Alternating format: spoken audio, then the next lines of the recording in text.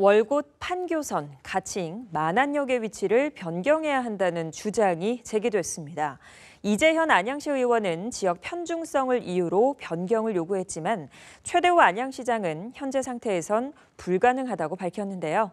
만안역 위치 앞으로도 논란이 될 것으로 예상됩니다. 이창호 기자의 보도입니다.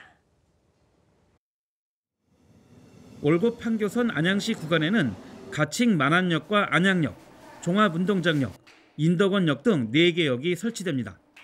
이 가운데 만안역의 경우는 지자체 사업비 부담에 따라 안양시가 예산 1,308억 원을 투입해 건설합니다. 이재현 안양시 의원은 이처럼 안양시 예산을 투입하는 만안역이 특정 지역에 치우쳐 있다며 지역 편중 문제를 지적했습니다.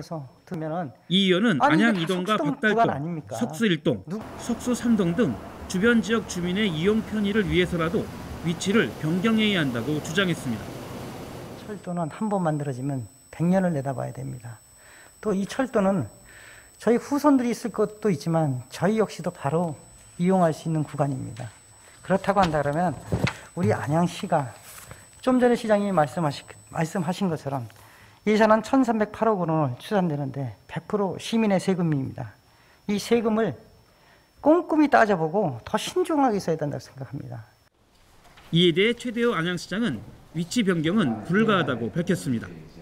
2017년 월곶 판교선 기본 계획 수립부터 지난해 기본 설계 수립 때까지 주민 의견을 듣고 결정된 사항이라는 점을 강조했습니다.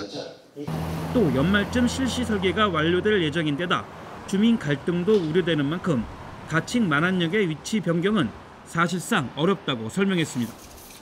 저도 이 문제는 확정되기 이전에 박달동이나 석수동 주민들을 위한 서로 상생 방안을 좀 만들었으면 참 좋았을 텐데 아쉬움이 많이 남습니다. 그렇다 해서 거기 역을 하나 또 만들고 또 어, 기존의 역을 고수하고 이 문제도 안 되고 천상 음, 역사 이치를 옮겨야 되는데 옮기는 것 또한 이게 참 쉽지도 않은 문제입니다. 그리고 잘못하면 민민 갈등을 유발하기 때문에 대단히 심사숙고해야 되지 않을까 그런 생각이 들기도 합니다.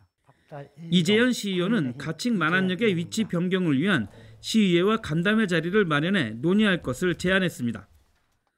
한편 인천 송도에서 시흥 광명과 안양, 판교까지 이어지는 월곶 판교선은 2조 1천억 원 정도가 투입되며 오는 2026년 개통 예정입니다. BTV 뉴스 이창호입니다.